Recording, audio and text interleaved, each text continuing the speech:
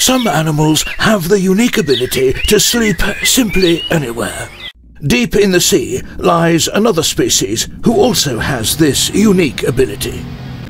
The Asian. Here, she has somehow managed to fall asleep on a fast-moving boat. Incredible! The boat continues to move and her head smashes against it, but marvelously, she still manages to stay asleep.